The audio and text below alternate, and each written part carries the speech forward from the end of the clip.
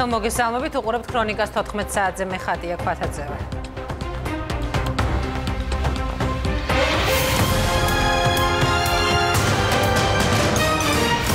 არჩევნები 2019 როგორ აფასებენ პოლიტიკოსები, შუალედური და რიგგარეშე არჩევნების შედეგებს. ზუგდიდში ნაციონალური მოძრაობის ლიდერები იკრიბებიან, როგორი იქნება მათი სამოქმედო გეგმა არჩევნებში დამარცხების შემდეგ.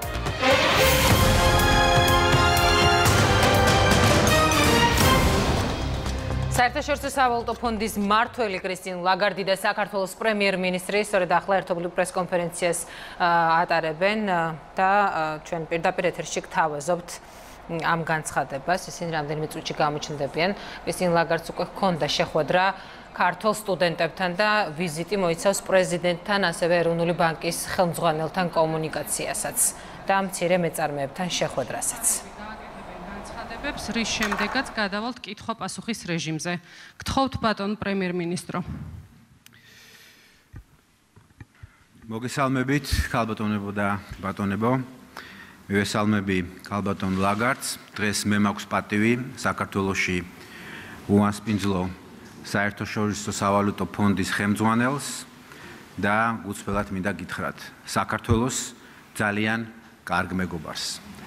საერთაშორისო საავადმყოფო ფონდთან ჩვენ გვაკავშირებს ძალიან მაღალი დონის თანამშრომლობა უკვე ძალიან დიდი ხანია მაგრამ მინდა აღვნიშნო რომ სწორედ მას შემდეგ რაც ქალბატონი ლაგარდი გახდა საერთაშორისო საავადმყოფო ფონდის ხელმძღვანელი სწორედ ამ პერიოდში გახდა ჩვენს და საერთაშორისო საავადმყოფო ფონდ შორის ურთიერთობა განსაკუთრებით ნაყოფიერი და პროდუქტიული მას მე მსურს მადლობა გადაუხადო ჩვენი მხარდაჭერისთვის მე ჯერ კიდევ ფინანსთა მინისტრად მუშაობის პერიოდში ჩავამიყალიბ და ძალიან კონსტრუქციული და შედეგზე ორიენტირებული ურთიერთობები და დღევანდელი მისი ვიზიტიც გახლავთ კაფიო გამოხატულება იმ ხარდაჭერისა, რომელიც აქვს საერთაშორისო საავადმყოფო ფონდს იმ რეფორმების მიმართ, რომელსაც ჩვენ ვახორციელებთ და ჩვენ ვახორციელებთ ერთობლივად. იმ წარმატებას, რასაც საქართველოს მიაღწია სხვადასხვა ტიპის რეფორმებით, იმ ტრანსფორმაციას, რასაც ჩვენი ქვეყანა განიცდის, მე სურს განვაცხადო, რომ ამაში საერთაშორისო საავადმყოფო ფონდის წვლილი არის ძალიან მაღალი. როდესაც ჩვენ საუბრობთ ინკლუზიურ ეკონომიკურ ზრდაზე, ისეთი ტიპის ეკონომიკურ ზრდაზე, რომელიც შეეხება თითოეულ მოქალაქეს. როდესაც ჩვენ საუბრობთ ცირე და საშუალო ბიზნესის განვითარებაზე, ინოვაციებზე, ადამიანური კაპიტალის განვითარებაზე, რაც შეიძლება მეტი ქალის ჩართვაზე სამეწარმეო საქმიანობაში, ნებისმიერ საზოგადოებრივ ცხოვრებაში. ეს არის სწორედ ის წესრიგი, რომელსაც ქალბატონი ლაგარდი ამკვიდრებს ყველგან და მე სურს მას განსაკუთრებული მადლობა გადაუხადო. ჩვენ საერთაშორისო საავადმყოფო ფონდთან გვაქვს ძალიან წარმატებული პროგრამა გაფართოებული დაფინანსების მექანიზმის შესახებ. ის არის ერთ-ერთი საუკეთესო პროგრამა და მთლიანად ეყნობა ჩვენი მთავრობის მიერ წარდგენილ რეფორმათა გეგმას და ამ სამწლიანი პროგრამით გათვალისწინებული მიზნები მინდა გითხრათ რომ უკვე არის შესრულებული ერთი წლის წინსწრებით ეს გახლავთ მიმდინარე ხარჯების შემცირება, კაპიტალური ხარჯების დაჩქარება და დეფიციტის ნორმალიზაცია. მე ძალიან კარგად მახსოვს ჩემი შეხვედრა რამდენიმე წლის წინ საერთაშორისო საავადმყოფო ფონდში, როდესაც გემახსოვრებათ ძალიან ძიმე ციფრები გქონდა. ჩვენ მიმდინარე ანგარიშის დეფიციტის ის თითქმის 13%-ს უახლოვდებოდა, სადაც მე ვთქვი და ჩვენ ავიღეთ ვალდებულება რომ ჩვენ გავატარებდით ისეთ რეფორმებს, რომელიც საშუალებას მოგხსენდა. საქართველოსში ჩაგუნაცვლებია მეტი იმპორტი, ქონოდა უფრო მეტი ექსპორტი და შეგვემცირებინა მიმდინარე ანგარიშის დეფიციტი, რომელიც გახლავთ ერთ-ერთი ყველაზე მტკივნეული ადგილი საქართველოსთვის, საჩვენს ეკონომიკისთვის. და ჩვენ ეს შევძელით, ჩვენ ის თითქმის შევამცირეთ ორჯერ და აქაც საერთაშორისო საავადმყოფო ფონდის ხარდაჭერა იყო ძალიან მნიშვნელოვანი და მინდა დღესაც გავუსვა ხაზი იმას, რომ ჩვენ ვაპირებთ ამ პროგრამის დასრულების შემდეგ კიდევ უფრო მეტად აქტიურ თანამშრომლობას უფრო ამბიციურ პროგრამაზე და ჩვენ ვართ ამისთვის მოტივირებული. ჩვენ ამავე დროს ვაფასებთ საერთაშორისო საავადმყოფო ფონდის ხარდაჭერას იმ ძალიან მნიშვნელოვან რეფორმაში, რომელსაც ქვია საპენსიო რეფორმა, ეს არის მართლაც ისტორიული მნიშვნელობის მქონე რეფორმა, რომელიც ძალიან ბევრი პრობლემების და გამოწვევების გადაჭრაში დაგვეხმარება, რომელიც საქართველოს წინაშე დგას დღეს და რომელიც ჩვენ გვექნება მომავალში. და ბოლოს მე მსურს განსაკუთრებული მადლობა გადაუხადო ხალბატონ ლაგარდს და ფონდს იმ ძალიან მნიშვნელოვანი რეფორმის რეფორმაში მონაწილეობისთვის, რომელსაც ჩვენ უწოდებთ ეროვნული დიას და ეს არის განათლება. ეს არის ადამიანური კაპიტალი, ეს არის ყველაზე დიდი სიმდიდრე, რომელიც აქვს საქართველოს. ეს არის ჩვენთვის ყველაზე მნიშვნელოვანი რეფორმა, აქ ჩვენ ველოდებით კონკრეტულ შედეგებს, აქ ჩვენ ველოდებით ისეთ შედეგებს, რომელიც საშუალებას მოგცემს საქართველოს გავხადოთ ერთ-ერთი ყველაზე კონკურენტუნარიანი ქვეყანა 21 საუკუნეში. კიდევ ერთხელ მსურს ქალბატონ ლაგარდს დიდი მადლობა. გადაუხადო საქართველოსში ჩამობრძანებისთვის მინდა საერთაშორისო სავალუტო ფონდის გუნდს გადაუხადო. დიდი მადლობა. ასეთი ნაყოფიერი თანამშრომლობისთვის და დარწმუნებული ვარ რომ ჩვენი ახალი პროგრამა მომავალში ისეთივე წარმატებული იქნება როგორც დღეს არსებული პროგრამა. დიდი მადლობა. Well, good afternoon, and thank you very much for uh, for coming, um, Mr. Prime Minister Baghdadze. I just want to assure you that whether it is as a finance minister or as a prime minister in your various incarnations. It's always a great pleasure to work with you, uh, representing the interests of Georgia, a beautiful country, and the Georgian people, men and women ქალთა და მამაკაცთა ინტერესებს თქვენი ქვეყნის სახელით ეს ყველაზე მნიშვნელოვანია. ჩემი გუნდის სახელით, რომელიც შეიკრიბა ამ დარბაზში, გვაქვს პატივი, რომ თქვენ შეგხვდეთ კიდევ ერთხელ ბატონო პრემიერო და მთელ თქვენს გუნდს ეკონომიკის, ფინანსთა მინისტრებს და რა თქმა უნდა ცენტრალური ბანკის პრეზიდენტს. And for me this visit is ეს ვიზიტი არის მრავლის მთელი. მე ძალიან מחარებს, რა თქმა უნდა, პირველად საქართველოსში ყოფნა. მისი სილამაზე, მისი ხალხი არის, მისი რესურსები არის თვალწარმტაცი. მე საქართველოსში ჩამოსვლისთანავე ქართულ ღვინოსაც დავეწაფე და ნამდვილად ხედავ რამხელა ხარისხი და რამხელა კრეატიულობა ამ ყველაფერში. შენობებში, არქიტექტურაში ძალიან დახვეწილია ეს ყველაფერი. სოფლის მეურნეობა და სოფლის მეურნეობის პროდუქცია რა თქმა უნდა ფრანგი ვარ და კიდევ რას ვიტყოდი ღვინოზე კულინარიას და ღვინოზე მეც.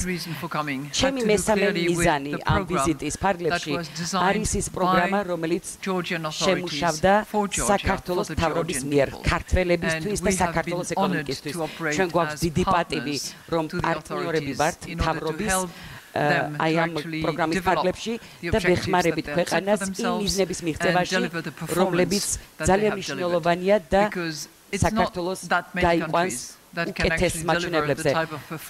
ეს მუშაობა რაც საქართველოსში ტარდება ხლებისთვის არის შესაშური ჩვენ ერთად შევეცდებით დეფიციტის შემცირებას და თქვენს გუნდთან ერთად და ჩვენი მხარდაჭერით გავაგრძელებთ ამ მიმართულებით მუშაობას.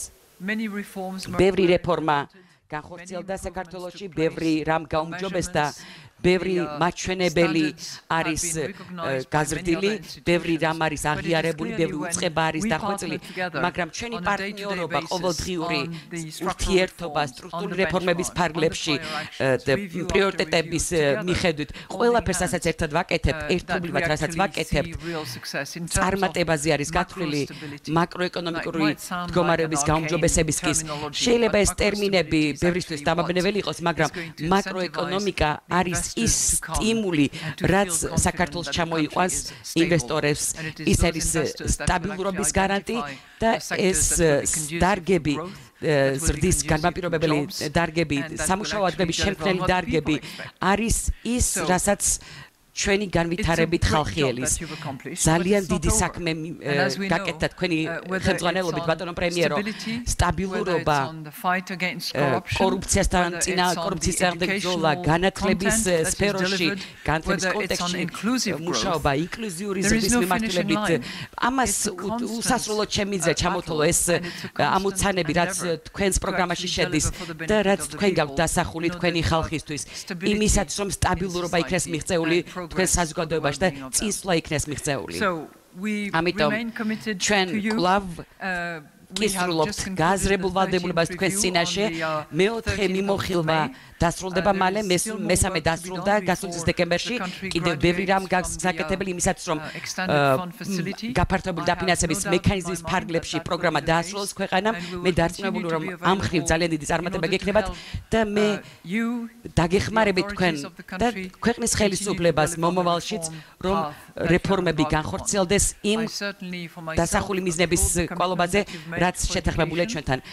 მინდა მოგილოცოთ რომ ძალიან დიდი მუხტი გვაქვს მიღებული იმ განათლების რეფორმის პროგრამის ხარისხის საფუძველზე ბაღიდან უმაღლესი განათლების ჩათვლით და მეცნიერების ჩათვლით ხარისხი არის გადამწყვეტი და მიმაჩნია რომ ამ მიმართულებით და ბევრი სხვა მიმართულებით ინვესტორებისთვის, ქვეყნის განვითარებისთვის, სასამართლო სისტემის დახვეწისთვის, რაც არის დამოუკიდებლობის გარანტი, არის საქართველოსი რეფორმების განმაპირობებელი პლატფორმა. დიდი მადლობა ყველაფერი ამისთვის ბატონო პრემიერო და ყველაფერს საუკეთესოს გისურვებთ მომავალში. Ეს გახლდათ საერთაშორისო სავალუტო ფონდის მისიის მართველი და საქართველოს პრემიერ-მინისტრი. განმოგრძობთ გამოშვებას არჩევნების შედეგებზე საუბრით.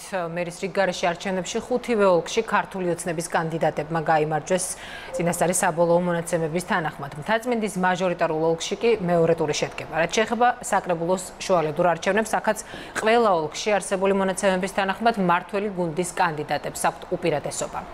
გადავხედოთ კონკრეტულად პროცენტებს, მაგალითად ზუგდიდში. ქართული ოცნება დემოკრატიული საქართველოს კანდიდატმა გიორგი შენგელიამ ამორჩეულთა ხმების 54.18 მიასედი პროცენტი მიიღო. ნაციონალური მოძრაობა გაერთიანებული ოპოზიციის კანდიდატ სანდრა რულოვს ხმათა 42.84 მიასედი პროცენტი ერგო. მარნეულში დამაჯერებელი სხვაობით მართველი გუნდის კანდიდატი ლიდერობს ზაურ დარგალს ამორჩეულთა 78.6 მიათედა პროცენტმა დაუჭირა მხარი. მეორე ადგილზე ნაციონალური მოძრაობის კანდიდატი აგილ მუსტაფაევია 11.59%-ით, ახმედ მიმამკულიევი კი ხმების 7.54%-ით მესამე პოზიციაზე. ზესტაფონს რაც შეეხება, აქაც მერს ირჩევდნენ ქართული ოცნება დემოკრატიული საქართველოს კანდიდატი გიორგი გოგლიჩიძე გახდათ, მას აქვს 50.75% და არის პირველ ადგილზე. შემდეგ მოდის ნაციონალური მოძრაობის წარმომადგენელი ბაქარ ხიჯაკაძე 34.26%-ით, რაც შეეხება თავისუფალი საქართველოს მერობის კანდიდატ გოგი წულაიას. ამომრჩეველთა ხმების 5.91% ერგო მას. ჭიათურაში მართველი გუნდის კანდიდატთან ერთად მერობისათვის დამოუკიდებელი კანდიდატები იბრძოდნენ პირველ ადგილზე ამ საარჩევნო ოლქშიც არის ქართული ოცნების წარმომადგენელი გივი მოდებაძე ამ მომრჩეველთა ხმების 64.58%-ით.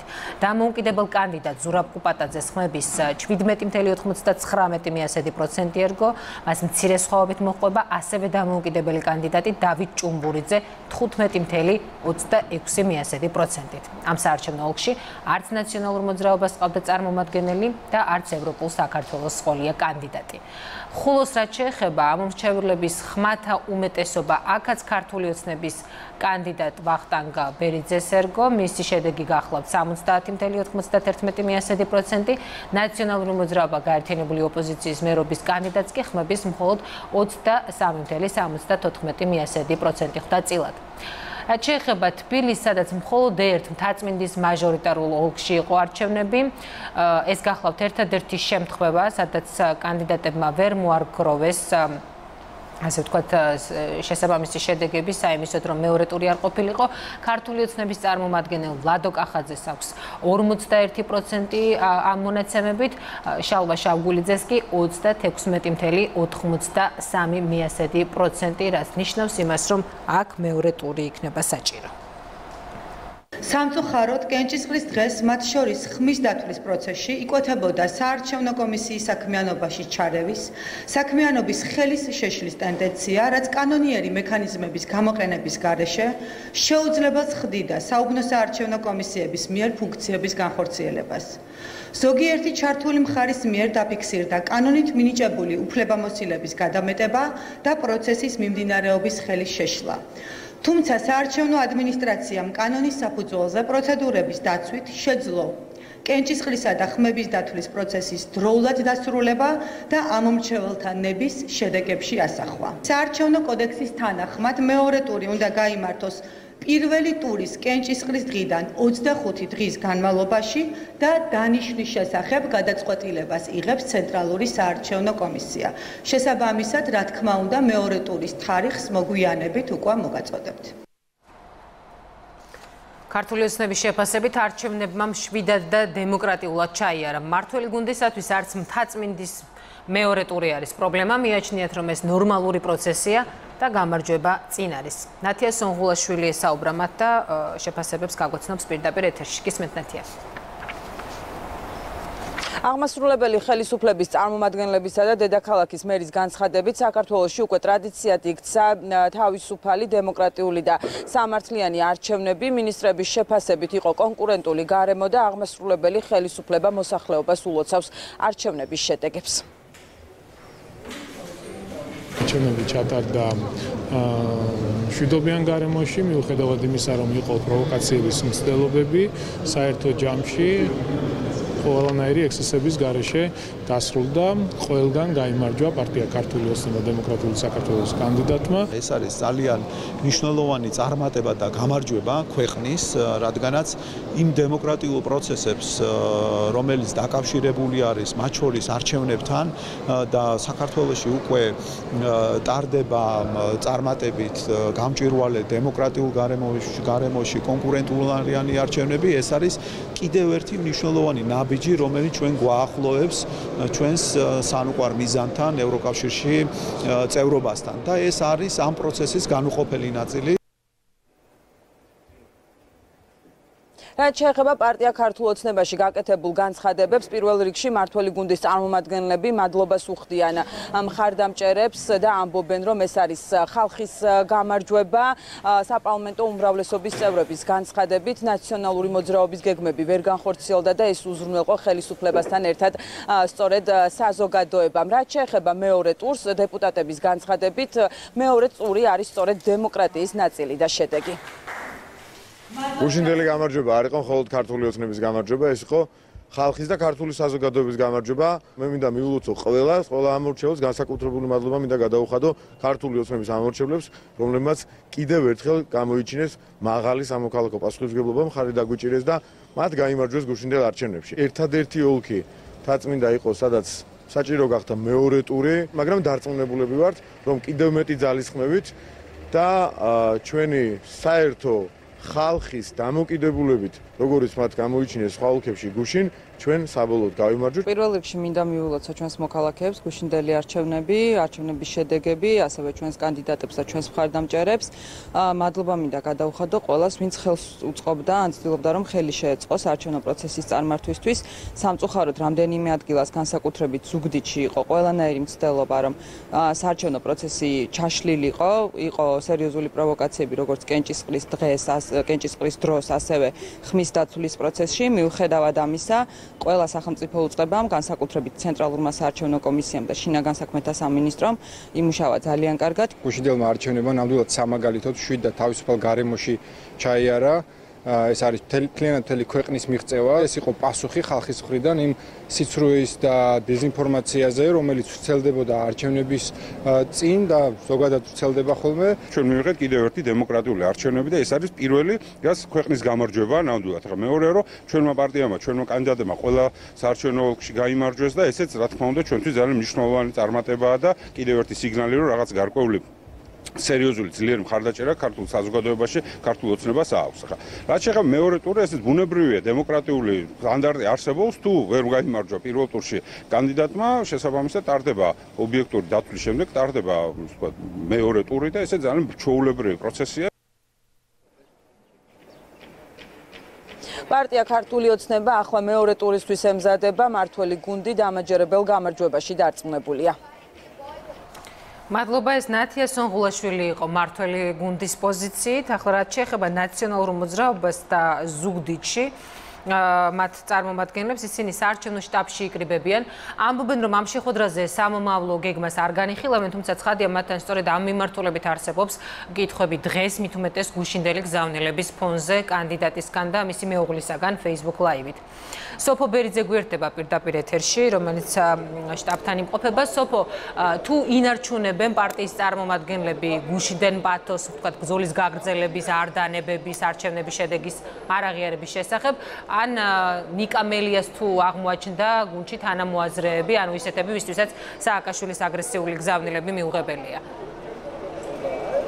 ხეთია პირველ რიგში გეტყვით რომ ეს იყო შეხვედრა საარჩევნო შტაბში სადაც სანდრა რულოვსი საკუთარი შტაბის წარმომადგენლებს შეხვდა მათ მადლობა გადაუხადა გაწეული სამუშაოსთვის და ასევე მადლობა გადაუხადა ამ მომრჩეველს იმ ადამიანებს ვინც ხმა მისცა სანდრა რულოვს და მათ გმირები უწოდა რულოვსმა შეეხება ზუგდიდის მერობის უკვე ყოფილი კანდიდატი საუბრობს ასევე სამომავლო გეგმებზეც ის ამბობს რომ ბრძოლა გრძელდება და რომ საქართველოსი არჩევნებით ხელისუფლების ცვლილება არ არის შესაძლებელი და ეს შესაძლებელია მხოლოდ საპროტესტო ტალღით. ასეთ იყო სანდრა რულოვსის მთავარი გზავნილი, რომელიც მან სწორედ შტაბში მიდიარე შეხვედრაზე გააკეთა, რაც შეეხება გუნდის სხვა წევრებს, ისინი საუბრობენ და ზოგადად შეიძლება ითქვას, რომ პოლიტიკოსების განცხადებები დღეს ნაციონალური მოძრაობის შტაბში იყო იდენტური, სწორედ ისეთი განცხადებები, რომელიც არაერთი მოგვისმენია ნებისმიერი ბოლო არჩევნების დასრულების შემდეგ, სადაც ნაციონალური მოძრაობა დამარცხდა. ყველა მათგანი საუბრობს, რომ ბრძოლა გრძელდება, რომ მათი ბრძოლა იქნება კონსტიტუციურ ჩარჩოში, კანონის შესაბამისად კონკრეტულ ფორმებზე დღეს არ საუბრობენ, თუმცა მაგათაც ბაჩუკი ხარდავასგან მოისმინეთ, რომ აუცილებელია პროცესების რადიკალიზაციაც კი. ჩვენ ძალიან მაგრად დგებით, ჩვენ ამ ბრძოლას ვაგრძელებთ ეროვნულ დონეზე, რასაც გუშინაც თქვი. და არ დარჩება არც ერთი ქუჩა, არც ერთი სოფელი, უბანი და ქალაქი, სადაც ჩვენ არ მივალთ ჩვენი გუნდით და სადაც გავაგებინებთ ხალხს, რომ ჩვენ ჩვენ შეგვიძლია ერთმანეთის გაძლიერება. და ამ საპროტესტო ტალღით ამას დავარკვევდით, საპროტესტო ტალღით ჩვენ უნდა დავამარცხო ივანიშვილის რეჟიმი. როცა ის აღარ იქნება, მაშინ არის ისევ შესაძლებელი არჩევნებზე საუბარი. არჩევნები არ ყალბდება მხოლოდ არჩევნების დღეს. არჩევნების გაყალბება იწყება არჩევნებამდე, მოსყიდვით, მუქარით, საალკო საარჩევნო კომისიის მიერ იცით ჩვენი მუდმივი ბრძოლა იყო საალკო საარჩევნო კომისიასთან.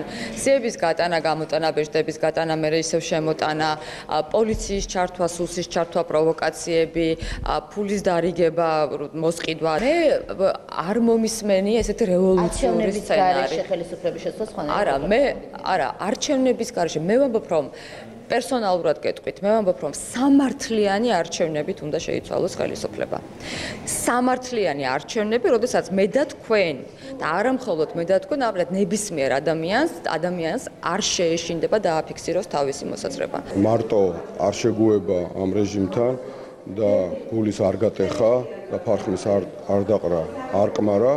რა თქმა უნდა საჭირო არის ბრძოლის გაგრძელება რადგანაც ზუსტად ვიცით რომ ივანიშვილი ღალატობს ჩვენს ქვეყანას, იმითი რომ დღითი დღე ჩვენი ქვეყნის მდგომარეობა უარესდება, ეკონომიკური მდგომარეობა, ხალხის სოციალური მდგომარეობა, გაჭირება მეტია, უიმედობა მეტია, სიღარიბე მეტია, უმუშევრობა მეტია, ქვეყნიდან გაქცეული ადამიანების რაოდენობა მეტია. შესაბამისად ჩვენ ვერ დაუთმობთ პუტინის გეგმის შესაბამისად მოქმედ ადამიანს ამ ქვეყანას. ბიძინა ივანიშვილის ხელისუფლება ფაქტობრივად აუქმებს არჩევნებს და თუ ივანიშვილმა გააუქმა ქვეყანაში არჩევნები, რაღაც გზა მოიძებნება ხომ ხელისუფლების შესაძლებლად. პროცესის რადიკალიზაცია მიმაშინე აბსოლუტურად სწორად და მე არ ვიცი მიხეილ სააკაშვილი რას ამბობს, მაგრამ მე მოუწოვებდი გაერთიანებული ოპოზიციის ყველა პოლიტიკურ სუბიექტს, რომ მეტი რადიკალიზაცია, მეტი სიმწვავე იმისთვის, რომ ბიძინა ივანიშვილს არჩევნები ფაქტები აღვადგენინოთ ქვეყანაში.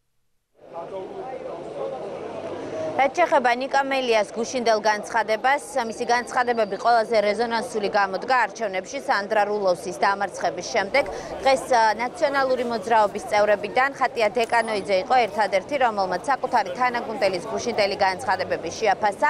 დეკანოიძე ელოდება, რომ ნიკამელია მეც სიცხადეს შეიტანს საკუთარ გუშინდელ განცხადებაში, თუმცა უნდა აღინიშნოს, რომ ამ განცხადების მიუხედავადაც ნაციონალური მოძრაობის წევრებს ამ დრომდე მელიასთან კომუნიკაცია არ ქონიათ.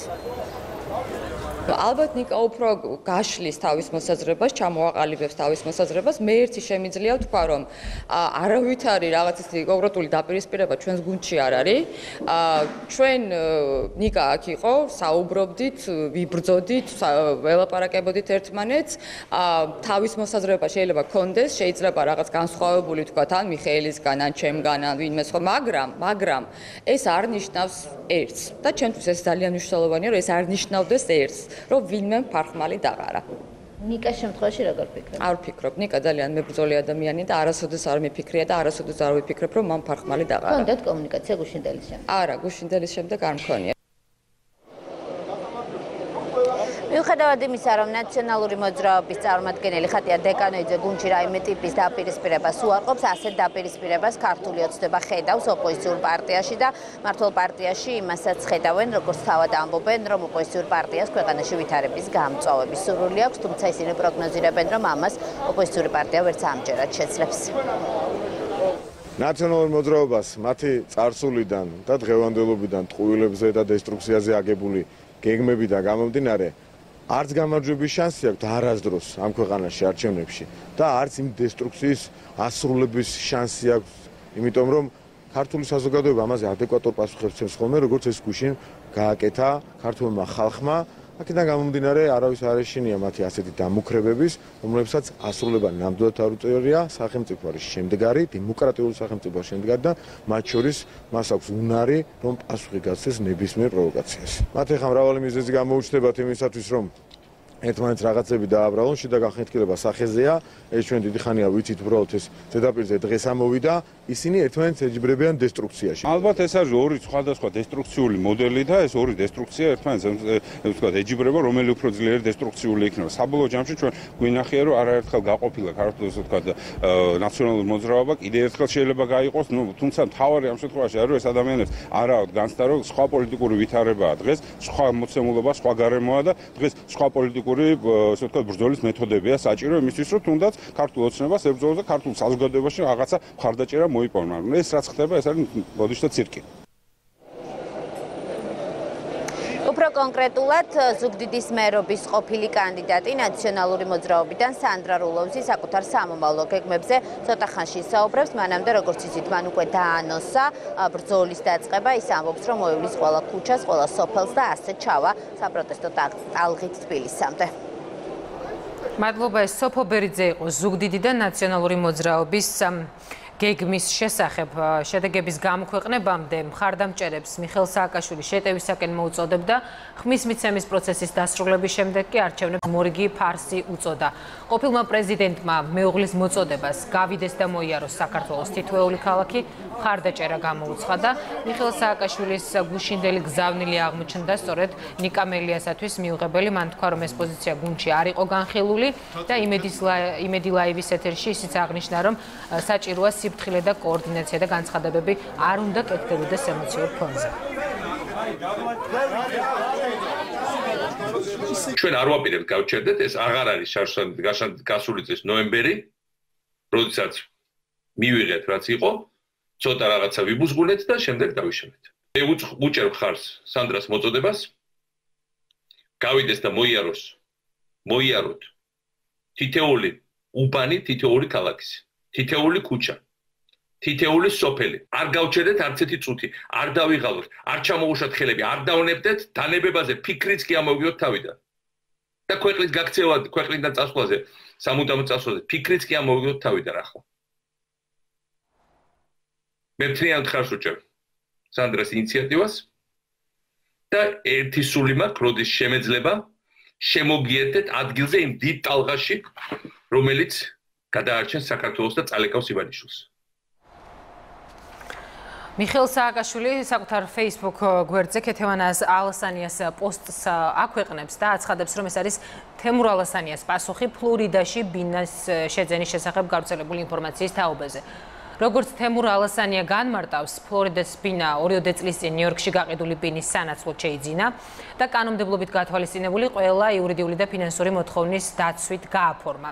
საცხოვრებლით ოჯახთან ერთად სარგებლობს და დასა და დის შვილებსაც იწვევს ხოლმე. ალასანია აღნიშნავს, რომ ვინაიდან რამდენიმე ათწლეულის განმავლობაში საპასუხისმგებლო პოზიციაზე მუშაობდა და კარგი ანაზღაურებაც ჰქონდა, შეუძლია რომ ბინა იქ იყიდოს, სადაც მოუნდება. არ მგონია ეს ვინმე საქმე იყოს, მით უმეტეს საქართველოს ხელისუფლებაში დაბუდებული ბიუჯეტის ქურდების წერს ალასანია იმ პოსტში, რომელიც მიხეილ სააკაშვილმა გაავრცელა. რაც შეეხება ამბავს, რის გამოც ალასანია ამ განმარტებას ავრცელებს. ეს ეხება ამერიკაში მცხოვრები წარმოშობით რუსი ჟურნალისტის მიერ მომზადებულ რეპორტაჟს. მაიამი კოლინზის ავენიუ 2101 ბინა 318. ამ მისამართია რეგისტრირებული საქართველოს ყოფილი პრეზიდენტის უძრავი ქონება. საცხოვრობს სადისვენებს და რა ქონებას ფლობს შტატებში მიხეილ სტაკაშვილი სტენ გრუნსკიმ სწორედ ამ ამის შესახებ მომზადა მასალა. მისი კვლევის მიხედვით სააკაშვილმა მაიამიში ფეშენებელური აპარტამენტი ბიძასთან კონსულტაციით შეიძინა. საცხოვრებელ კომპლექსს ამ რეპორტაჟის მიხედვით ხედები ოკეანისა და ეზოს მხარეს აქვს ბინების ფასი კი მილიონ ნახევარი დოლარიდან იწყება. რეპორტაჟიდანვე ირკვევა ის რომ სააკაშვილს ნიუ-იორკში მცხოვრებ თემურ ალასანიასთან თითქმის ყოველდღიური კონტაქტი აქვს. რეპორტაჟში ასევე მოცემულია ის ძვირადღირებული სასტუმროები სადაც გაჩერების უფლებას თავს ყოველი მეორე ვერ მისცემს და ბრენდული მაღაზიები, რომელთაც ხშირად სტუმრობს საქართველოს ექს-პრეზიდენტი მიხეილ სააკაშვილი.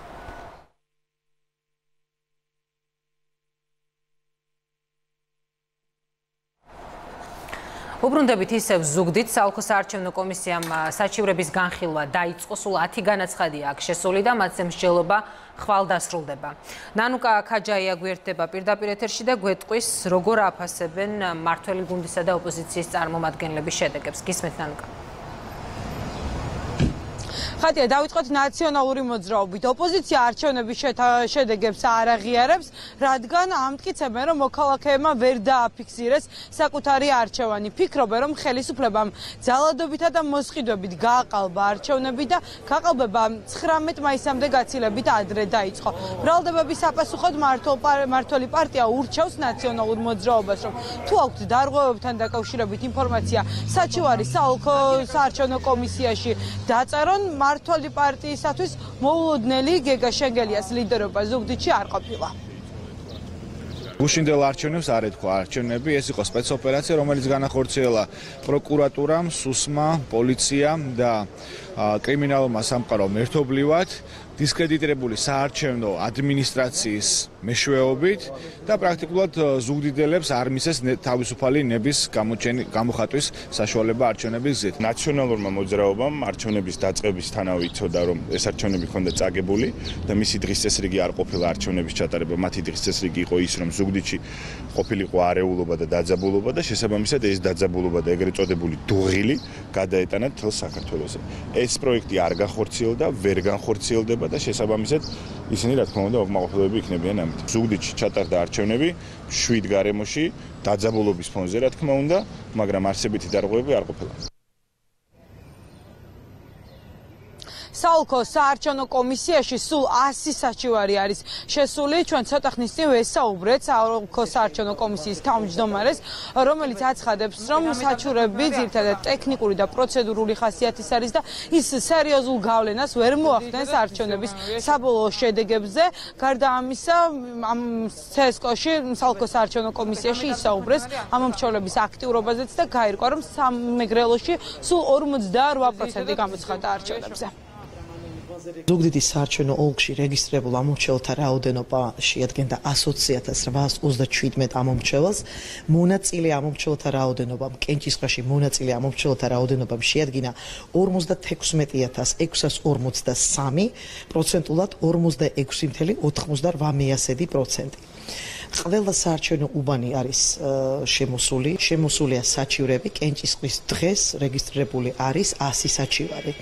მოხდება ამ საჭიროების განხილვა კანონით დადგენილ ვადებში. საჭიროები ძირითადად შეეხება პროცედურულ გადაცდომებს, ანუ დისციპლინური პასუხისმგებლობის დაკისრების საფუძვლებია მოთხოვილი. სალქო საარჩევნო კომისიას ორდღიანი ვადა აქვს იმისათვის რომ სალქოში შესული 100 საჩივარი განიხილოს. მე შეგახსენებთ რომ სამეგრელოში სულ 120837 ამომრჩეველი იყო რეგისტრირებული ამომრჩევლებს 16 კანდიდატ შორის ჰქონდათ არჩევანის გაკეთების შესაძლებლობა თუმცა გუშინ ორმა კანდიდატმა კანდიდატურა მოხსნა. მთავარი ბრძოლა გამართა სწორედ ქართული ოცნების კანდიდატსა და ნაციონალური მოძრაობის კანდიდატ შორის და ქართული ოცნების კანდიდატმა 54%-იანი მხარდაჭერა მოიპოვა სამეგრელოში. მადლობა ზნანუკა ქაჯაია იყო ზუგდიდიდან. თაწმინდის საურჩეულ საარჩევნო უბანზე მისვლა. კანდიდატებს კი ძალების მეტად მობილიზება მოუწევთ კიდევ ერთხელ. ამ მაჟორიტარულ ოლქში როგორც იცით მეორე ტური ჩატარდება რა განწყობა აქვთ? ოპონენტებს ვლადიმერ კახაძე და შალვა შავგულიძე იყვნენ. მთავარი ფიგურანტები აქ. სოფო ოხანაშვილი გვიერთდება პირდაპირ ეთერში. სოფო თუ გაესაუბრე ორივე კანდიდატს ამ დროისთვის ჩვენ შევძელით მთაწმინდის მაჟორიტარულ ოლქში მხოლოდ ერთ კანდიდატთან, ქართული ოცნების კანდიდატთან, ვლადიმერ კახაძესთან გასაუბრება. რაც შეეხება შალვა შავგულიძეს, როგორც ევროპულ საქართველოს თავისუფალ დემოკრატებში გვითხრეს, მასთან ინტერვიუ შესაძლებელი შედარებით მოგვიანებით გახდება და ბუნებრივია ქრონიკის მაყურებელს შესაძლებლობა ექნება, რომ მისი პოზიცია მოისმინოს როგორც პირველ, ასევე მეორე ტურის მოლოდინებთან დაკავშირებით. რაც შეეხება ვლადიმერ კახაძეს, ის ამბობს, რომ პირველი ტურის ტურის პირველ ტურზე აქტივობა იყო დაბალი და სწორედ ამან განაპირობა მეორე ტურის აუცილებლობა. მისი განმარტებით ეს არის საკითხი, რომელიც დაფიქრებას საჭიროებს და გაანალიზებას. მას აქვს საკუთარი მოსაზრებები თუ რა იყო ამ აქტივობის, დაბალი აქტივობის მიზეზი. მისი შეფასებით შესაძლებელია ეს ერთის მხრივ განპირობებული იყო ამორჩევლების ნიჰილიზმით და ასევე ის არ გამორიცხავს, რომ 70% რომელიც არ მივიდა არჩევნებზე, შესაძლოა კმაყოფილია იმ პოლიტიკით, რომელიც მათ საარჩევნო ოლქში ტარდება. იქნება და მისთვის ასეთი განწყობა თუ მართლა სიმართლე შეესაბამება მისასალმებელი იქნება. თუმცა ნებისმიერ შემთხვევაში ვლადიმერ კახაძე ამბობს რომ დაბალი აქტივობა ეს საკითხი უნდა გაანალიზდეს და უფრო ღრმა ანალიზის შემდეგ მიიღოს პოლიტიკურმა პარტიამ გადაწყვეტილება თუ რას მოიმოქმედებს. რაც შეეხება მეორე ტურისთვის მზადებას კახაძე ამბობს რომ ყველა ძალისხმევას გამოიყენებს ისიც და მისი პარტიაც რომ მეორე ტურში გაიმარჯვოს დამაფიქრებელი ბევრი ფაქტორია აქტიურობასთან დაკავშირებით, იმიტომ რომ სულ 30%-ის ფარგლებში მოვიდა თაცმინის მოსახლე. ანალიზის დროს ორი რამე წამოაჩინა პლანზე. ეს თუ ინდიფერენტიზმია და ეს თუ ნიგილიზმია, ცუდია, იმიტომ რომ ჩვენ განვითარებადი ქვეყანა ვართ, ახალ დემოკრატიას ვსწავლობთ. თუ ის 70% რომელიც არ იყო აქტიური, ფიქრობს რომ ცვლილებების დრო ჯერ არ დამდგარა და მათ აწყობთ ასეთი მდგომარეობა, ესეც ეს სხვა სხვა მიზნით შეიძლება შეფასდეს და ნუ აქ უკვე დობის ფაქტორი მეტია. ყველანი ერთად მობილიზდები და ამ საქმეს მივიღან წარმატებამდე. და ეს წარმატება სხვისი დაჩაგვის ხარჯზე არ იქნება და ეს გაგრძელდება ბოლომდე. კანდიდატთან ერთად ჩვენ ვესაუბრეთ პარტიებსაც, რომელთა კანდიდატები მეორე ტურში გადავიდნენ. შეიძლება ითქვას, რომ ისინი თითქმის იდენტურ განცხადებებს აკეთებენ, მაგალითად, ქართული ოცნებაც და ევროპული საქართველოს მიიჩნევს, რომ ვლადიმერ კახაძის მსგავსად, რომ მეორე ტურის აუცილებლობა განაპირობა სწორედ დაბალმა აქტივობამ, ასევე იდენტურია მათი შეფასებები მეორე ტურის მოლოდინებთან დაკავშირებით. ორივე ელოდება, რომ საკუთარი კანდიდატი დამაჯერებელ გამარჯვებას მოიპოვებს მეორე ტურში. ისეთ რომ ბევრად მეტი მხარდამჭერი ყავს, მაგრამ არჩევნებზე გამოცხადდა დაახლოებით 1/13 ამორჩევლების არის რეზერვი იმისა, რომ უფრო მეტი მხარდამჭერი მოვიდეს არჩევნებზე და დაუჭიროს ჩვენს კანდიდატს, ღირსეულ კანდიდატს, რეალურ ალტერნატიულ კანდიდატს შალვა შავგულიძეს. მეორე ტურში გასამარჯვებლად. თლიანობაში ოპოზიციამ უფრო მეტი ხმა მიიღო ვიდრე ხელისუფლების კანდიდატმა, რაც იმას ნიშნავს, რომ ცვლილებების ხარდამჭერი ამ ქვეყანაში, ქალაქის ცენტრში, შუაგულში უფრო მეტია, ვიდრე იმ ასე თქვა ჭაობისა, რომელიც უფევს დღეს ქვეყანაში. აქედან გამომდინარე, ჩვენ ძალიან დიდი იმედი გვაქვს, რომ ჩვენი ჩვენი კანდიდატი მეორე ტურში გაიმარჯვოს. მეორე ტურისთვის განსაკუთრებით მნიშვნელოვანი იქნება იმ კანდიდატების მხარდაჭერთა პოზიცია, რომლებმაც თავისი საპროტესტო ხმა დააფიქსირეს ქართული ოცნების მიმართ, თუმცა დაუჭირეს სხვა ოპოზიციურ კანდიდატებს ხარი. მათი მხარდაჭერა ასევე მნიშვნელოვანი იქნება არჩევნების მეორე ტურისთვის, იმისათვის რომ თაწმინდელებმაც და საქართველოს ყველა მოქალაქემ დაინახოს რომ არჩევნების გზით ბიძინა ივანიშვილის და ქართული ოცნების დამარცხება შესაძლებელია. ჩვენ ვაპირებთ ძალიან ინტენსიურ მუშაობას. მეორე ტურის ჩატარება ერთ კონკრეტულ ოლქში ეს არ არის ტრაგედია, ეს არის ჩვეულებრივი დემოკრატიული პროცესი და ფიქრობ, რომ ამ არჩევნებსაც, ანუ მეორე ტურსაც ჩვენ ღირსეულად მოვიგებთ. თაცმინდის ოლქშიც ბატონი ლადო კახაძე ლიდერობს, ის პირველ ადგილზეა, როგორც გითხარით, ყველგან მოვიგეთ და მექნება მეორე ტური, ესეც სხვათა შორის დემოკრატიის ნაწილი არის, სხვათა შორის ჩვენ ვართ ზუსტად ის ადამიანები, ის ხელისუფლება, ვინც 50%-იანი ბარიერი გააკეთა, საკმაოდ მაღალი ბარიერია. მეორე ტურს რაც შეეხება, ყველაფერს გავაკეთებთ იმისთვის, რომ აქაც ჩვენმა კანდიდატურა გაიმარჯვოს. აქტიობა. აქტიობა იყო ძალიან. საარჩევნო კანონმდებლობის მიხედვით მაჟორიტარულ ოლქში განმეორებითი მაჟორიტარულ ოლქში მეორე ტური უნდა დაინიშნოს კენჭისყრის დღიდან 25 დღის განმავლობაში და ეს 25 დღე უწევს 13 ივნისს და არჩევნების დღეს მეორე ტური უნდა დაინიშნოს უკვე ცენტრალურმა საარჩევნო კომისიის კომისიამ. გმადლობ სოფო ხანაშვილი საუბრობდა პირდაპირ ეთერში. მარნეულში სტატიურების განხილვა ხვალ დაიწყება აქ მერის არჩევნებში სახელმწიფო კანდიდატმა ხმათა თითქმის 80% მოიპოვა. როგორ აფასებენ კანდიდატები ამ მონაცემებს მარიამ ქართველიშვილი გვეტყვის. 79.79% ქართული ოცნება, 11.5% ნაციონალური მოძრაობა და 7.8% ევროპული საქართველოს. ასეთია მარნელში მერის არჩევნების შედეგები. საალკო საარჩევნო კომისიაში აცხადებენ, რომ 90 საარჩევნო უბანზე სულ დაიწერა 30 საჩივარი და დარღვევები, რომლებიც დაფიქსირდა საარჩევნო უბნებზე, საალკო კომისიის თავმჯდომარის განცხადებით, გავლენა საბოლოო შედეგებზე ვერ იქონიებს, რაც შეეხება გამარ გამარჯვებულ კანდიდატს. ქართული ოცნების კანდიდატი ზაურ დარგალი პირობას დებს რომ წინასაარჩევნო კამპანიის დროს მიცემულ ყველა დაპირებას შეასრულებს ის მადლობას უხდის ამომრჩევლებს და ამბობს რომ ოპოზიციის კრიტიკა გუშინ საარჩევნო პროცესთან დაკავშირებით არ არის სამართლიანი. ოპოზიციის წარმომადგენლები ზაურ დარგალის ინფორმაციით ავრცელებდნენ ცრუ ინფორმაციას იმის შესახებ რომ საარჩევნო ყუთებში იყრებოდა ბიულეტენები და ასევე ბიულეტენები გაქონდათ უბნები ინფორმაციების გარეთ ზაურდარგალი ამბობს რომ ეს არის სრულ ინფორმაცია და საბოლო ჯამში საარჩევნო პროცესმა მშვიდ ვითარებაში ჩაიარა. ჩვენი გამარჯვება არის თითეული მარნეულელების გამარჯვება და ეს გამარჯვება არის საკმაოდ დიდი პროცენტით და რაც ეხება ოპონენტების ბრალდებებს მინდა გითხრათ რომ ჩვენ დაახლოებით 80%-ით გავიმარჯვეთ ამ არჩევნებში. ეს ნიშნავს იმას, რომ ჩვენ გვაქვს სრული მხარდაჭერა ჩვენი მოსახლეობის. არჩევნები ჩატარდა სამართლიანად, გამჭვირვალედ, დემოკრატიულად, შედევიანად, ქონდა პატარა ექსესებს ადგილი, ოღონდ ეს ექსესები ხდებოდა საარჩევნო უბნების გარეთ, რაც არჩევნებზე გავლენას ვერ ახდენს და ქონდა პროცედურულ დარღვევებს ადგილი, მაგრამ ეს დარღვევები არჩევნების შედეგებზე გავლენას ვერ მოახდენს. სულ 30 საჩივარია ოლქში შემოსული. ამ დრომდე სამ საჩივრების გახდება მოხდება ხვალე საოლქო საარჩევნო კომისიის სხდომაზე. არჩევნებიდან მეორე დღეს ევროპოლის საქართველოს და ნაციონალური მოძრაობის კანდიდატებს მედიასთან კომენტარი არ გაუკეთებიათ და საარჩევნო პროცესი არ შეუფასებიათ. მე როგორც უკვე გითხარით, სულ საალკო საარჩევნო კომისიაში შევიდა 30 საჩივარი 90 საარჩევნო უბნიდან და მათი განხილვა ხვალ საალკო საარჩევნო კომისიის სხდომაზე დაიწყება.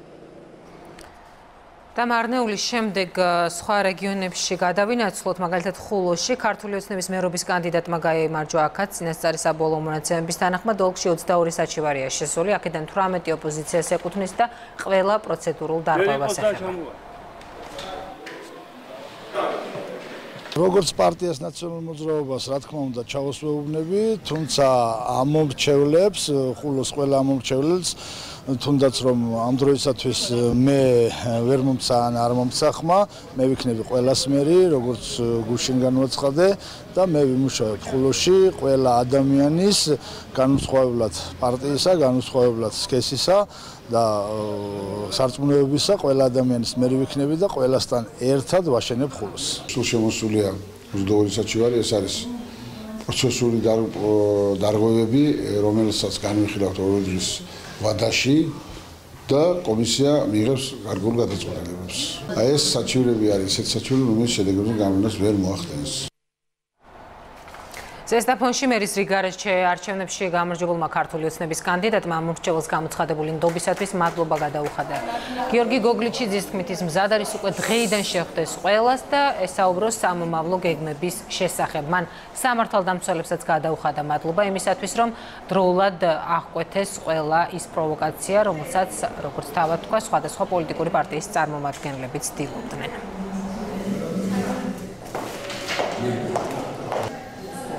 ვაცხადებ ღიად და საჯაროდ. მე ვერ დავყოფ ამისიანი მერი, იმისიანი მერი. მე ვარ ამ მუნიციპალიტეტის მერი, მიუხედავად სხვადასხვა პოლიტიკური შეხედულებებისა, ჩემო კარგებო, ხვალიდანვე შეგიძლიათ შევხვდეთ, დავისახოთ ის გეგმები, რაზე ჩვენ წინასწარ წინა შეხვედრებზე, წინა საარჩევნო შეხვედრებზე საუბრობთ. თითეული თქვენგანი ნახავს, თუ რა კეთდება ჩვენის მუნიციპალიტეტში და თუ რა არის დაგეგმილი მიმდინარე წელს. სულ საარჩევნო კომისიაში შემოსული 10 საჩივარი, მათ შორის 6 არის კენჭისყრის დღის პროცედურებთან დაკავშირებით, ხოლო 4 ხმის დათვლის პროცედურებთან დაკავშირებით. არჩევნებში მონაწილეობა მიიღო 25909 მომრჩეველმა. ჭიათურის მუნიციპალიტეტში მერის რიგარეში არჩევნებზე მოქალაქეებმა პირველსავე ტურში ქართული ოცნება დემოკრატიული საქართველოს კანდიდატის სასარგებლოდ გააკეთეს არჩევანი გივი მოდებაძე გახლავთ აქ გამარჯვებული წინასწარი საბოლოო მონაცემების თანახმად და შესაბამისად არც მეორე ტური არ ჩატარდება. რაც შეეხება საკრებულო შუალედურ არჩევნებს, აქ 7 კანდიდატი იყო წარმოდგენილი, ხმათა უმეტესობა ამ შემთხვევაშიც ქართული ოცნების წარმომადგენელ თამაზ ჭუმბურიძეს ხვდაწილად. მე უდიდესი მადლობა მინდა უთხრა მთელ ჭიათურას, მთელ ჩვენ ამ ლამაზ ადამიანებს, მათმა მართლა გვერდით გვიერთგულეს და ბოლომდე ჩვენთან ერთად არიან და დიდი მადლობა მათ ამისათვის, ყველაფრისათვის და მართლა უფლებაც არ მაქვს სხვაგვარად მოვიქცე, მართლა ბოლომდე დავიხარჯები და ბოლომდე ვიქნები მათი ერთგული მერე ვიქნები. არჩევნებს აფასებენ მესამე სექტორის წარმომადგენლები, არასამთავრობო ორგანიზაცია განვითარებისა და დემოკრატიის ცენტრი დადებითად დადებით დასკვნას აკეთებს. ამბობენ, რომ არჩევნების დღეს სხვადასხვა სახის დარღვევა გამოვლინდა, როგორც იყო მაგალითად უბანზე არაუფლებამოსილი პირის ყოფნა, მარკირებისა და სათანადო დოკუმენტების გარეშე ხმის მიცემის ცალკეული შემთხვევები, ასევე ამომრჩევლის ნების ფარულობის დარღვევის ფაქტები.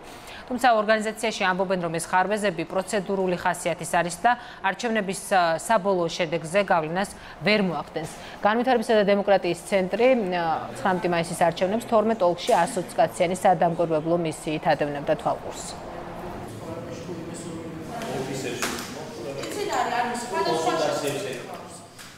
დავაფიქსირებთ როგორც საარჩევნოუბნებზე, ასე ვთქვათ, არაუფლებამოსილი პირების ყოფნა, როგორც აღნიშნე, საკმაოდ ხალხმრავალობა შეიმჩნეოდა ამ არჩევნებზე ყველა სხვა არჩევნებისგან განსხვავებით. მნიშვნელოვანი იყო ასე ვიცი, მარკირების და არასათანადო დოკუმენტაციით ხმის მიცემის მცდელობები, დაფიქსირდა მომრჩევლისნების ფაროლობის დარღვევა, როდესაც ამ მომრჩეველი გამოდიოდა, ასე ვთქვათ, უკვე შემოხაზული ბიულეტენი დააჩვენებდა, ფიქსირებდა საკუთარ პოზიციას. დაკვირვების შედეგად სადამკვირვო მისიამ არჩევნების დღე შეაფასა როგორც დადებითი არ იყო დაფიქსირებული სერიოზული ტიპის ხარვაზები და დარღვევები. აქვე გვინდა აღნიშნოთ, რომ იყო ძალიან კონკურენტული გარემო. სამწუხაროდ ხალხმრავლობამ საერთო უბნებზე და მდებარე ტერიტორიაზე რიგ შემთხვევაში გამოიწვია, ასე ვთქვათ, დაძაბულობის კომპონენტი.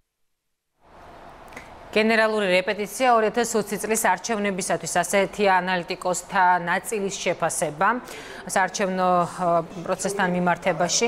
მაგალითად გია აბაშიძე მიიჩნევს რომ კარგად გამოჩნდა ხალხის განწყობა და გამოჩნდა ისიც რომ ქართულ ოცნებას არ აქვს თვითდამშვიდების საფუძველი და საჭიროა გუნჩი ცვლილებებზე ფიქრი.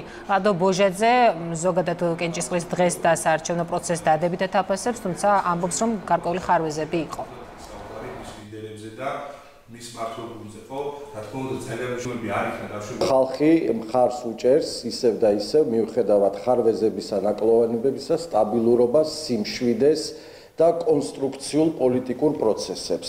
ამარჩევნებმა კიდევ ერთხელ დაგვანახა ისიც რომ მართლ ქართულ ოცნებას თვითდამშვიდების საფუძველი ნამდვილად არ აქვს საკმაოდ დროულად და სწრაფად უნდა მოხდეს გუნდში გადახალისება, სტრატეგიების შეცვლა. ჩვენ ასევე დავინახეთ, რომ ნაციონალური მოძრაობა პოლიტიკური ასპარეზიდან ნენელა ქრება და ის დესტრუქცია ის ასე ვთქვათ სიყალბე რომელიც მას შემოაქვს საზოგადოებაში უკვე აღარ არის პოპულარული. ზოგადად უნდა შეფასდეს ეს არჩევნები მაინც დადებითად იმიტომ რომ ბევრი ხარვეზების მიხედავად უშუალოდ საარჩევნო უბნებზე პროცესი მიმდინარეობდა კანონმდებლობის სრული დაცვით და ადასტურეს თავად საარჩევნო სუბიექტის წარმომადგენლება დაპროგრამირება ძალიან საინტერესო ტენდენცია ვიხილეთ თათვიდის საარჩევნო რაც იქნება მეორე ტური. ამ შემთხვევაში პირველად ასე ვთქვათ მეორე ტურში გადადის ქართული ოცნების კანდიდატი და ევროპული საქართველოს კანდიდატი რაც იმას ნიშნავს რომ ნაციონალური მოძრაობის ლიდერობას ოპოზიციის ფრონტზე ასე ვთქვათ საფრთხე მოხდება ტელეიმედი ყველაზე სანდო მაუწყებელია NDI-ის კვლევით ნატა მახვილაძე რეკლამის შემდეგ შემოგვიერთდება.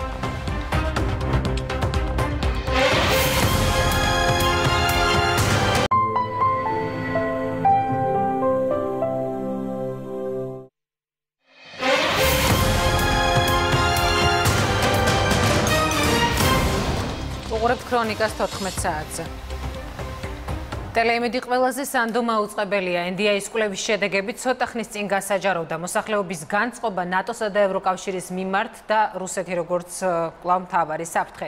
ასეთი აკვლევის მთავარი აქცენტები აქ საგულისხმოა ისიც, რომ ავტორებმა ქვეყნის ევროატლანტიკური კურსის შესახებ აზრი ეთნიკური უმცირესობების წარმომადგენლებსაც ცალკე ჰკითხეს და აქვთ რეკომენდაცია, რომ საზოგადოების ამ ნაწილს მეტი ინფორმაცია მიეწოდოს. ნატალია მახულაძე გვერდება კვლევის დეტალებით პირდაპირ ეთერში. თავდაპირველად მინდა გითხრათ ხატია, რომ ჩვენს მიერ მომზადებულ ნიუსებს ყველაზე მეტად ენდომა მაყურებელი რეიტინგში პირველია ტელეკომპანია იმედი სანდოობის მხრივ პოლიტიკის შესახებ, ასევე სხვადასხვა მიმდინარე მოვლენების შესახებ სანდო ინფორმაციას მაყურებლის 32% სწორედ ტელეკომპანია იმედისგან იღებს. ეხლა რაც შეეხება თავად კვლევის სხვა საკითხებს და მთავარ საკითხებს, ეს არის საგარეო კურსი ძირითადად საუბარი იყო იმაზე, რომ ევროკავშირსა და ნატოს მიმართ საკმაოდ მყარია დამოკიდებულება 77% მხარს უჭერს ევროკავშირში საქართველოს გაწევრიანებას. ხვალ რომ ევროკავშირში გაწევრიანებაზე რეფერენდუმი ტარდებოდეს 78% ხმას მისცემდა გაწევრიანებას, ხოლო 14% წინააღმდეგი იქნებოდა. კვლევის მიხედვით ევროკავშირში გაწევრიანების მომხრეები თავის გადაწყვეტილებას შემდეგი მიზეზებით ხსნიან. ეს გაზრდის ქვეყნის ეკონომიკურ ეკონომიკას, უსაფრთხოებას და სამუშაო ადგილებს მოიტანს. 13% ვისთვისაც მიუღებელია ევროკავშირში გაწევრიანება, მთავარ მიზეზად რუსეთთან კონფლიქტს, რუსეთთან ახლო ურთიერთობების სურვილს და იმას ასახელებს, რომ ევროკავშირში ევროკავშირის საფრთხეს უქმნის ქართულ კულტურას. ასეთი 19%-ია. გამოკითხვის თანახმად მოსახლეობის უმრავლესობა ფიქრობს, რომ ევროკავშირში გაწევრიანებით საზოგადოების ბევრი ჯგუფი ნახავს სარგებელს, მათ შორის ფერმერები, სტუდენტები, უმუშევრები, ეთნიკური, რელიგიური და სექსუალური უმცირესობები. გარდა ამისა, მათივე აზრით, გაწევრიანების შემთხვევაში სხვა საკითხებთან ერთად განათლების ხარისხი, ხელმისაწვდომი, ჯანდაცვა და საქართველოს უსაფრთხოებაც გაუმჯობესდება. საგულისხმო ერთი დეტალი კვლევის მიხედვით, უვიზო რეჟიმის ამოქმედების შემდეგ კითხვაზე გიმოგზაურიათ თუ არა შენგენის ქვეყნებში 90%-მა უარყოფითი პასუხი გასცა. მხოლოდ 3% ამბობს, რომ რამდენჯერმე უმოგზაურია. ახლა რაც შეეხება ნატოს. ნატოში გაწევრიანებას მოსახლეობის 74% უჭერს მხარს. ამავდროულად სომხურ სომხური დასახლებების ნახევრის ნატოში გაწევრიანება მიუღებელია, ხოლო 28%-ისთვის მისაღებია. მიუხედავად იმისა, რომ ნატოს მხარდაჭერა აზერბაიჯანულ ეროვნულ დასახლებებშიც დაბალია, იქ ეს არა. მხარდაჭერის ნაკლებობით, არამედ მაღალი არ ვიცი პასუხით არის განპირობებული.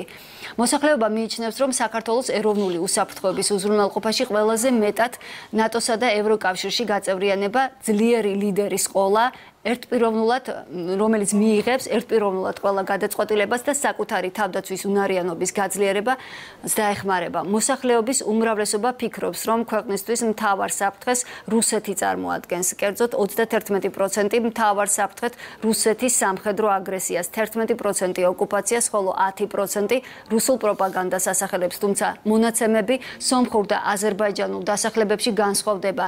აქ მხოლოდ 3 და 8% შესაბამისად მიიჩნევს რუსეთის სამხედრო აგრესიის საფრთხეს. საფრთხეთ. საზოგადოების დიდი ნაწილი ფიქრობს, რომ რუსეთს საქართველოს ეკონომიკაზე, პოლიტიკაზე და ეროვნულ უსაფრთხოებაზე ნეგატიური გავლენა აქვს.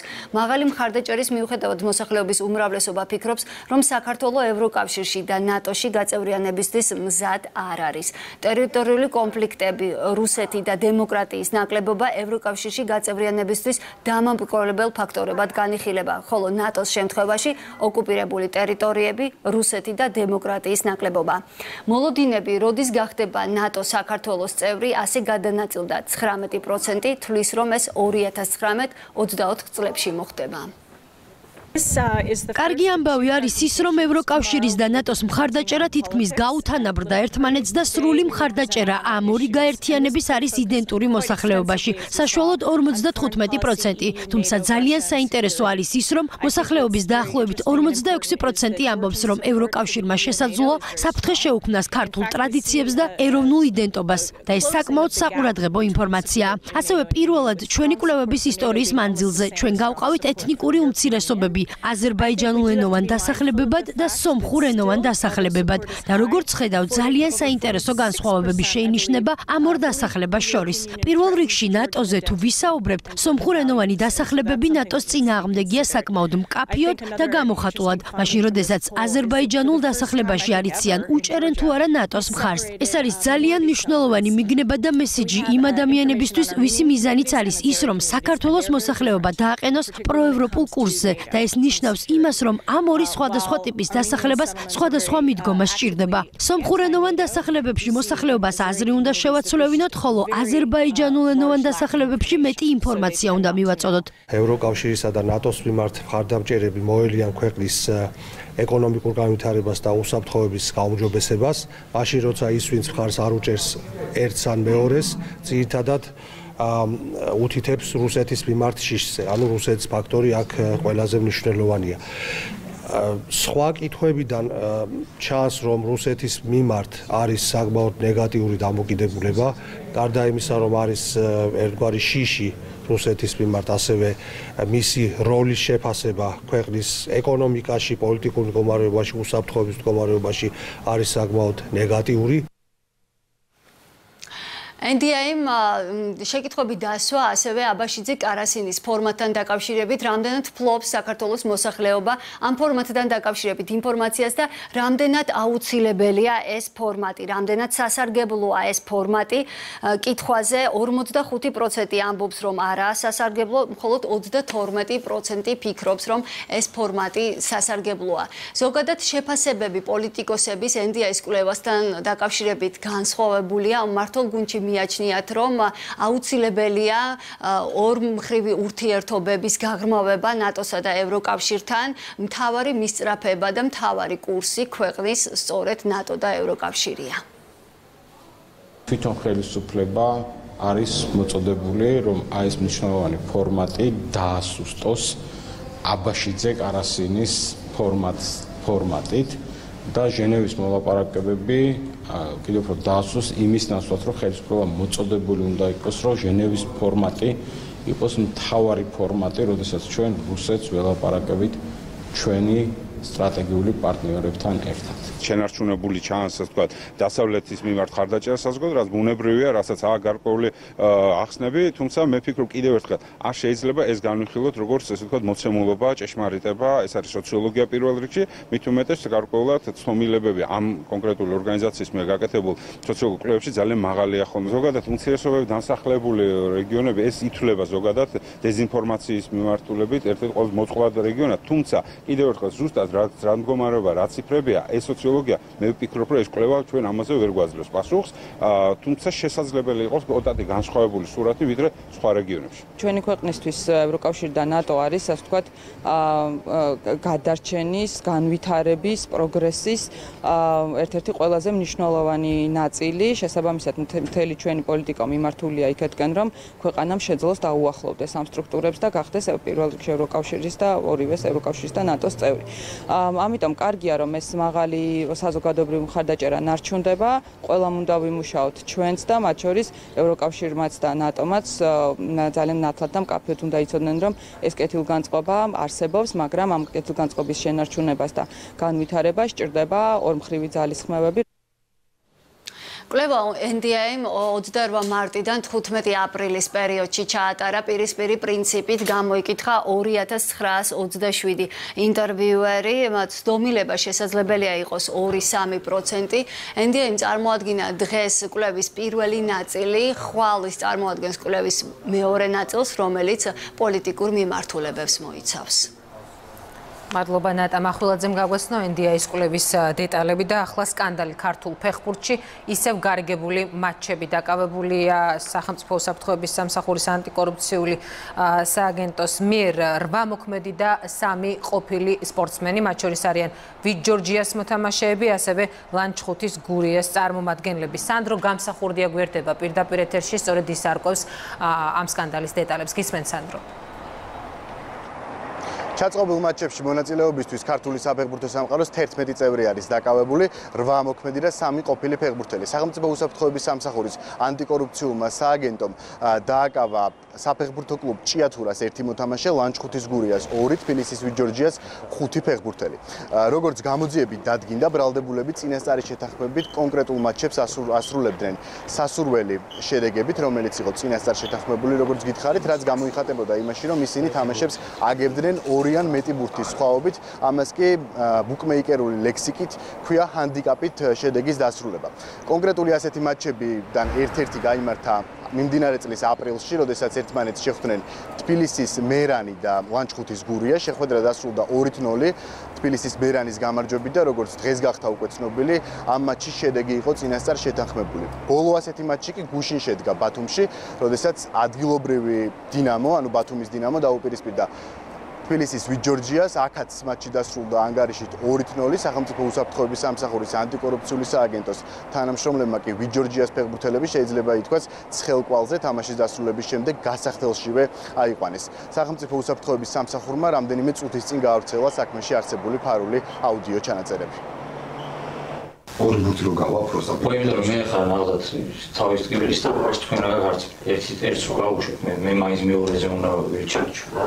მეც ეგ მოხდა უნდა თქო მე ვიცი. ხო დავისტრახო ხო ის კომერციას ვეუბნებიან ის ბიჭები თქო რომ გამოძიებამ დაადგინა რომ ორგანიზებული ჯგუფის წევრები დანაშაულებრივად უკავშირდებოდნენ საფეხბურთო კლუბების ფეხბურთელებს და გარკვეული თანხის სანაცვლოდ ურიგდებოდნენ მოწინააღმდეგე გუნდთან წინასწარ შეთანხმებული ანგარიშით ეგრეთ წოდებული ჰანდიკაპით ორი ან მეტი ბურთით წაგებაზე. ხსენებული მატჩების წინასწარ შეთანხმებული ანგარიშით დასრულებისათვის ორგანიზებული დანაშაულებრივი ჯგუფის წევრებმა და ფეხბურთელებმა ჯამში მიიღეს განსაკუთრებით დიდი ოდენობით თანხა 93500 ლარი. სამართალდამცველებმა ლანჩხუთის გურიას ფეხბურთელები რობერტ იმერლიშვილი და ნიკა ბაჯელაძე გუშინ დააკავეს როგორც კლუბის წარმომადგენელი. ჩვენ გვიყვება იმერლიშვილი ვარჯიშის დასრულების შემდეგ მის საცხოვრებელ სახლში დააკავეს, რაც შეეხება ბაჯელაძეს, როგორც გაირკვა მას რამდენიმე საათის მანძილზე ეძებდნენ სამართალდამცველები, სახელმწიფო უსაფრთხოების სამსახურის თანამშრომლები იყვნენ მისულები როგორც გრიგოლეთში ლანჩხუთის გურიას ბაზაზე, ასევე ბაჯელაძის სახლში, თუმცა მისი დაკავება მოხდა მოგვიანებით. რაც შეეხება თბილისის ვიჯორჯიას ფეხბურთელებს, რომელიც ასევე გარიგებულ მატჩებში მონაწილეობის ბრალდებით გუშინ ბათუმში დააკავეს. ესენი არიან ჯონი შეროზია, გიორგი გეთიაშვილი, პაატა ღუდუშაური, ნიკა მაისურაძე და ნოდარ კიკნაბელიძე. ისინი როგორც გითხარით, გუშინ ბათუმში, ბათუმის დინამოსა და ვიჯორჯიას მატჩის დასრულების შემდეგ დააკავეს. როგორც კლუბის წარმომადგენლები ყვებიან, მათ არანაირი ინფორმაცია არ აქვთ გარიგებული მატჩების შესახებ. და რომ სამართალდამცავები იმყოფებოდნენ გურიას ბაზაზე, კითხულობდნენ ირაკლი ბაჯელიძეს, რომელიც არ დახვდათ და ნუ სახლიდან აიყვანეს რობერტ იმერლიშვილი. მხოლოდ ეს ინფორმაცია მაქვს ამ დღემდე. როგორც გრიგოლეთის ბაზიდან დამირეკენ, თავარნაცვლმა ასევე ადმინისტრატორმა, ანუ ეძებდნენ ირაკლი ბაჯელიძეს, რომელიც იქ არ იმყოფებოდა იმ დროისთვის. რა კავშირი აქვს ვიჯორჯიას და ლანჩხუთის გურიას? ანუ ბოლო პერიოდში ხომ არ გქონიათ თამაში თქვენ ანთაზიან ლიგაში? ნუ მაგას ვერ გეტყვით, მეც ნახე რომ ვიჯორჯიას ხუთი ფეხბურთელია დაკავებული, ვიჯორჯია უმაღლეს ლიგაში ასპარეზობს, ჩვენ პროორში, ანუ ურთიერთშეხვედრები არ გქონია. აქედან გამომდინარე, ვერ ვერ გიპასუხებ თუ დაკავშირში უნდა იყოს. დღეს იქნება განცხადებას გამოაქვეყნეთ, იმიტომ რომ ჯერ ეს უხელ მოხდა ეს ამბავი და არც ვიცი დეტალები რა არის და როგორ არის და თან გარკვევაც გვინდა. ფეხბურთელების დაკავების ფაქტს განცხადებით გამოეხმაურა საქართველოს ფეხბურთის ფედერაცია, ქართული ფეხბურთის მართველი ორგანო გმობს მსგავს ქმედებებს ფეხბურთელების მხრიდან. მე ახლა წაიკითხავთ ამონარის ფეხბურთის ფედერაციის განცხადებიდან სავარაუდოდ კვლავ ჰქონდა ადგილი მატჩის შედეგს ან მსვლელობაზე манипуляციის ცალკეულ შემთხვევებს, რომლებზეც სახელმწიფო უსაფრთხოების სამსახურმა სპეციალური განცხადება და შესაბამისი მასალა გაავრცელა. სამწუხაროდ ყველა სრულად ვერ ითვისებს, რომ მსგავსი მოქმედება, რომელიც შეიცავს დანაშაულის ნიშნებს, უარყოფით გავლენას ახდენს არამხოლოდ კონკრეტული გუნდის სახელსა და იმიჯზე, არამედ თელ საფეხბურთო ოჯახზე. ეს იყო ამონარიდი ფეხბურთის ფედერაციის განცხადებიდან ფეხბურთელების დაკავების ფაქტს ასევე გამოეხმაურა თბილისის მერი და საქართველოს ეროვნული ნაკრების ყოფილი კაპიტანი კახა კალაძემ დაგმო ფეხბურთელების მხრიდან მსგავსი ქმედება. ჩემთვის როგორც ყოფილი სპორტსმენისთვის კატეგორიულად მიუღებელია ასეთი ქმედებები და შესაბამისად პასუხი უნდა აგონ თავიანთ დანაშაულზე. ხა თუ ხარ სპორტსმენი, ხარ მოღვაწეობ სპორტში, ეს მიდგომები და დამოკიდებულება ეს არ არის სპორტი, ეს უკვე სხვა რაღაცაა. გამოძიება სახელმწიფო უსაფრთხოების სამსახურის სპორტული შეჯიბრის მოწყირვის ფაქტზე აწარმოებს ბრალის დამტკიცების შემთხვევაში 8 მოქმედ და 3 ყოფილ ფეხბურთელს 4-დან 6 წლამდე ვადით პატიმრობა ემუქრება. გმადლობ სანდრო გამსახურდია საუბრობდა პირდაპირ ეთერში. გურჯანში არასრულწლოვანი დაჭრეს 15 წლის ვიჩ დაზიანება მუცლის არეში ცივი იარაღით აქვს მიყენებული შემთხვევა გუშინ საღამოს გურჯანის ერთ-ერთ ქუჩაზე მოხდა. დაშავებული საავადმყოფოში მოათავსეს და ოპერაცია ჩაუტარეს ჯერჯერობით დეტალები უცნობია შინაგან საქმეთა სამინისტრო მომხდარ სიძიებს.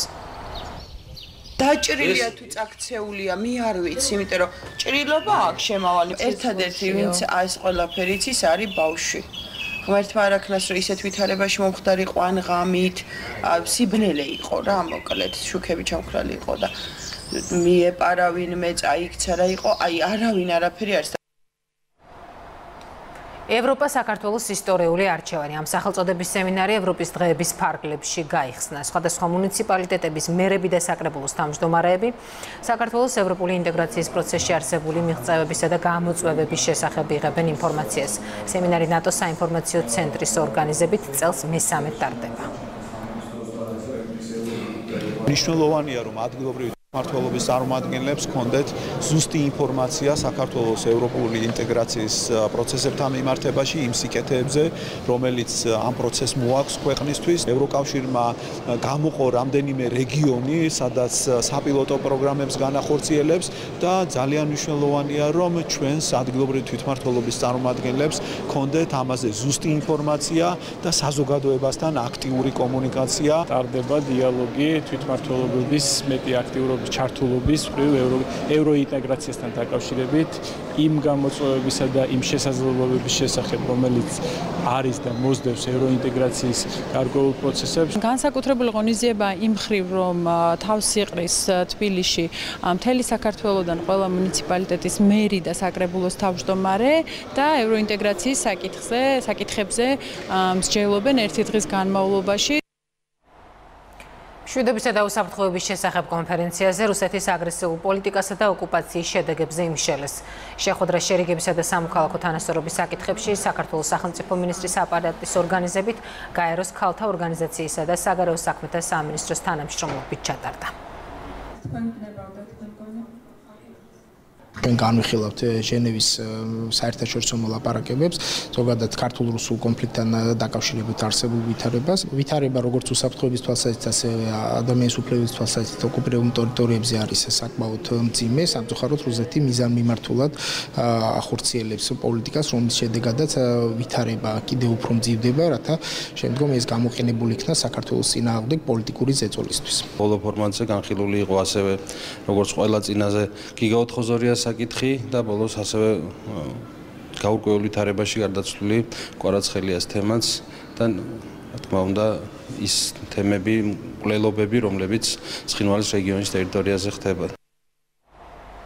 უკრაინის მეექვსე პრეზიდენტის ინაუგურაცია დასრულებულია. ზელენსკიმ ცერემონიაზე მერვე მოწვევის პარლამენტი დაითხოვა.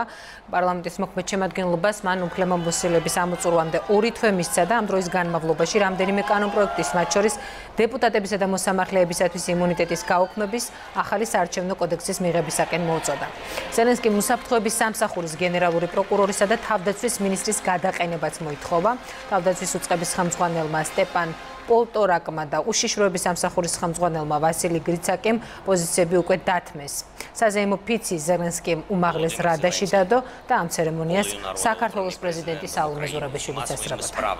ბორონიტი სუვერენიტეტ і незалежність. Президента України. Це თხოვთ მიიღოთ კანონის ადეპუტატო ხელშეუხებლობის გაუქმებისა და ახალი საარჩევნო კოდექსის მიღების შესახებ. ასევე გთხოვთ გაათავისუფლოთ თანამდებობიდან უშიშროების სამსახურის უფროსი, გენერალური პროკურორი და თავდაცვის მინისტრი. გააკეთეთ ეს და დაიკიდეთ მედლები. ეს არ იქნება ცუდი ბონუსი საპარლამენტო არჩევნების წინ. ამისთვის ორი თვე გექნებათ. ჩვენ არ უნდა ველოდოთ, როდის გადაწყვეტს მთავრობა ჩვენს პრობლემებს, რადგანაც ჩვენი მთავარი პრობლემა თავად მთავრობაა. დღის ყველა სიახლეს გაეცნობით ვებგვერდზე იმედი ნიუსში შევხვდებით კიდევ ერთხელ 17 საათზე დროებით